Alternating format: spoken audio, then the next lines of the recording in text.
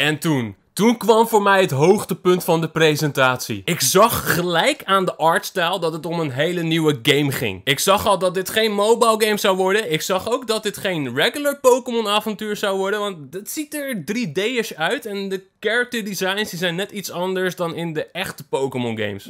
Holy moly jongens. Pokémon Snap komt naar de Nintendo Switch. En niet zomaar Pokémon Snap. Gewoon een hele nieuwe Pokémon Snap. Ik ben zo ontzettend hyped. Er is allemaal nieuw Pokémon nieuws, zojuist aangekondigd. Wij gaan hem even snel doornemen. Op woensdag 17 juli gooide de Pokémon Company allemaal Pokémon nieuws onze kant op. Sommig Pokémon nieuws was super episch. Sommig Pokémon nieuws was... Mm, nee.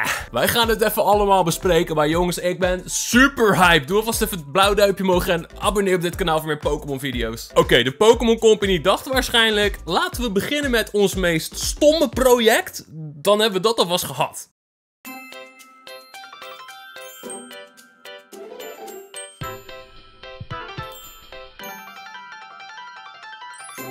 En dit project heet Pokémon Smile. En dit is heel duidelijk gericht op hele kleine kinderen. Pokémon Smile moet er namelijk voor zorgen dat kleine kinderen beter hun tanden gaan poetsen. Het is een app voor Android en iPhone. En terwijl een kind zijn tanden poetst, zie je dat ze een Pikachu hoedje kunnen dragen of een ander hoedje. Ze kunnen met Squirtle spelen terwijl ze aan het tandenpoetsen zijn. En ook Eevee is van de partij. En eigenlijk komt het erop neer dat als jij heel goed je tanden poetst, dan word je beloond. Want je kan Pikachu, Charmander, Squirtle, Bulbasaur, Eevee en misschien nog wel veel meer andere gewoon vangen door je tanden te poetsen. Ja, zo vang je ze niet, denk ik. Ah. In ieder geval, Pokémon Smile is vanaf nu te downloaden. En door. De volgende aankondiging die ze deden was Pokémon Café Mix. En ja, dat was al iets beter, maar nog steeds niet echt wat we wilden. Pokémon Café Mix is een puzzelspelletje. En hiermee moet je met je vinger over de Nintendo Switch en dan moet je ronddraaien en zorgen dat er zoveel mogelijk Pokémon-icoontjes van dezelfde Pokémon bij elkaar zitten. En hoe vaker je dit doet en hoe beter je dit doet, hoe meer Pokémon er naar je café komen en hoe moeilijker de puzzels denk ik worden. Deze game komt uit op de Nintendo Switch, Android en iPhone lijkt me niet echt heel erg bijzonder. Maar ik vind wel die artstyle van de achtergronden van de game. Die vind ik wel heel erg cool. Ik ga Pokémon Café Mix sowieso wel even proberen. Maar ik verwacht niet dat het de game is die ik echt 20 uur ga spelen of zo. En toen. Toen kwam voor mij het hoogtepunt van de presentatie.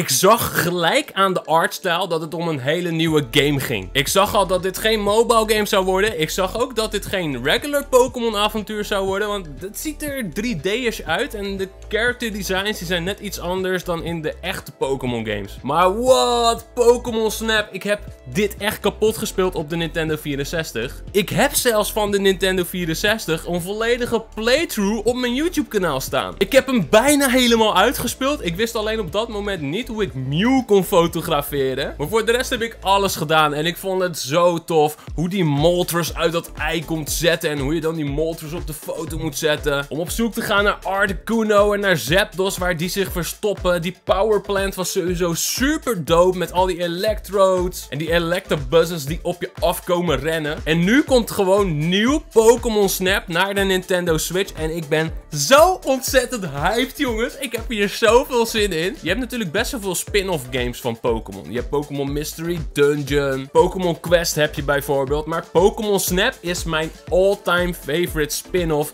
van de Pokémon serie. En eigenlijk, sinds de Nintendo Switch uitkwam, hoopte ik al dat Pokémon Snap naar de Nintendo Switch zou komen. En de Nintendo Switch is een perfecte console daarvoor. Want als je hem in handheld gaat spelen, dan kan je perfect gebruik maken van de gyro controls, waardoor je echt zo kan gaan richten, alsof je een echte fotograaf voelt. In Pokémon Snap zit je in een karretje en dat karretje dat gaat een bepaald spoor. En dan gebeuren er om je heen allerlei events van Pokémon. En die moet je proberen te fotograferen. Want op het moment dat je dus zo'n speciaal event fotografeert, dan wordt je foto meer waard. Krijg je meer punten en mag je door naar de volgende baan. En hoe meer punten je krijgt, hoe groter dan ook de kans is waarschijnlijk dat er speciale Pokémon spannen die je dan weer op een andere map op de foto kan zetten. Ik vind het natuurlijk onwijs jammer dat we nog geen release datum hebben. Maar er staat bij coming soon. Dus ik verwacht niet dat dit pas in december gaat komen. Ik denk dat dit best wel eens een zomervakantie game zou kunnen worden. Nou, misschien september. Misschien net na de zomervakantie. Alhoewel het wel echt een perfecte game is voor in je zomervakantie. Nieuwe Pokémon Snap. Dit wil ik al vanaf het begin van de Nintendo Switch. En nu gaat het komen. Ik ben zo ontzettend hyped. Vervolgens kwam er best wel veel Pokémon Go nieuws. Waarin ze aangeven dat ze nog steeds uitgaan van de situatie dat veel mensen thuis moeten blijven. We zagen bijvoorbeeld dat je Verision kan raiden. En dat kan je vanuit huis doen. Daar heb je nu speciale pasjes voor. Dus je hoeft niet meer naar de raid toe te lopen om daar met z'n allen te raiden. Je kan het ook gewoon lekker van een afstandje doen. Dat zat er al in.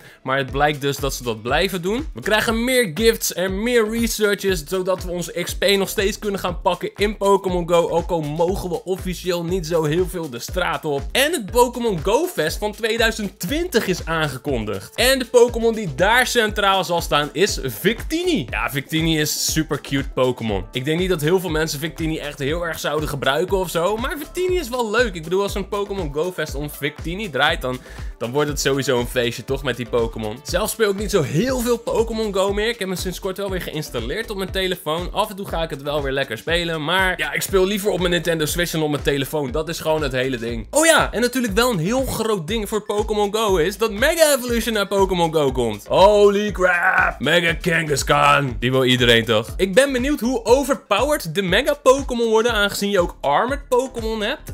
Hoe gaan ze dat doen in Pokémon Go? Maar het doet me wel goed om te zien dat Pokémon Go nog steeds heel erg uitgebreid wordt. En nog steeds heel erg veel gespeeld wordt door de mensen.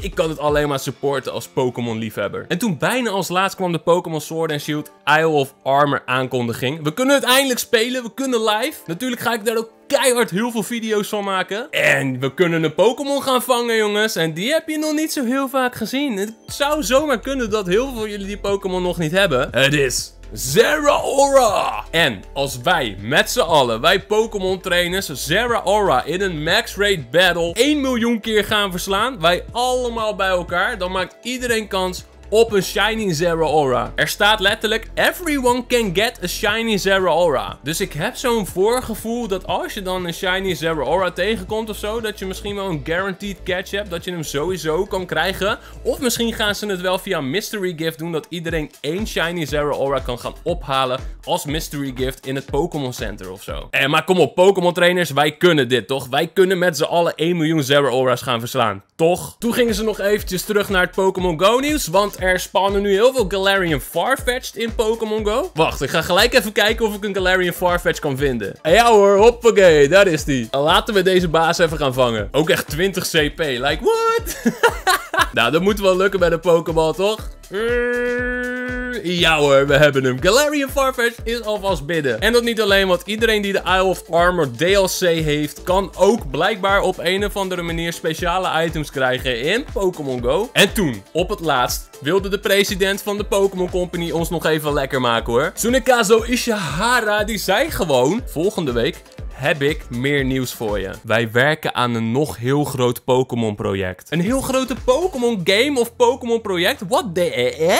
Wat? Is Pokémon Snap niet groot genoeg voor jullie? Is dat niet iets wat je los wil aankondigen? Zijn jullie nou echt bezig met een volledig nieuwe core RPG Nintendo Switch game? Gasten, zijn jullie bezig met een Let's Go van de tweede generatie? Of gewoon een remake van de vierde generatie? Is dat wat jullie aan het doen zijn? Zeg me alsjeblieft dat jullie zoiets aan het maken Ik denk het wel, jongens. Ik denk dat wij in november gewoon weer een nieuwe Pokémon game gaan zien. Of dat nou de generatie 4 is of een nieuwe Let's Go. Er komt in november gewoon weer keihard een nieuwe Pokémon game naar de Nintendo Switch. En dat wordt denk ik geen Pokémon Shield of Pokémon Sword deel 2. Want ze zijn nu op de DLC-tour. Ze zijn nu DLC aan het uitbrengen voor deze games. Er komt geen nieuwe variant. Dat denk ik niet. Ik denk echt dat ze een hele vette Nintendo Switch game gaan maken in de wereld van Pokémon. Of het nou een Gen 4 of 2 remake of Let's Go is. Of misschien wel de Pokémon RPG waar we allemaal over dromen. Jongens, ik heb er alle vertrouwen in. November wordt de bom! En Pokémon Snap is de bom. En ik ben super hyped en mega druk. En ik ga nu de Isle of Armor DLC spelen. Zodat ik die kan uploaden op dit kanaal. Doe een blauw duimpje omhoog. Abonneer op dit kanaal als je die DLC ook wil zien. En volg me op twitch.tv slash als je me live wil zien gamen. En dan heb ik nog maar één ding te zeggen. En dat is... Mazzel!